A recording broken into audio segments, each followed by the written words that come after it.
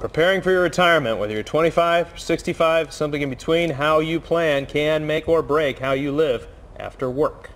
While the economy continues to improve, people still may not be saving enough. KY3's Jay Schurter has tonight's Contact KY3.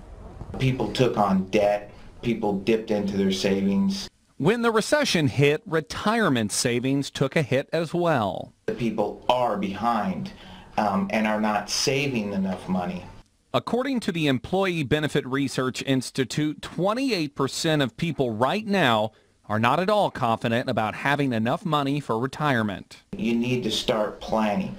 It's all about planning right now. While confidence levels are up since 2007 and people are better at saving and paying down debt, RLB financial advisor Robert Baltzell says it still may not be enough are they going to have health coverage from their employer when they do retire? Things like medical costs can drain a retirement account. They could spend up to $250,000 on medical costs in their retirement outside of Medicare and the supplement.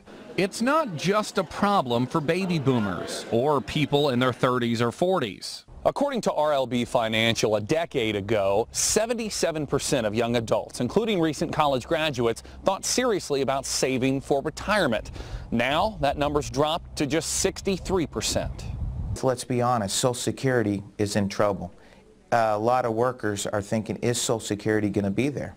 And while the market continues to break records, a lot of folks are thinking that, is this market bringing the lamb to the slaughter? Having a plan can help protect you from any future turmoil on Wall Street. I think with somebody setting up their portfolio correctly, you will be able to weather that storm, whether you're 20 or you're 75.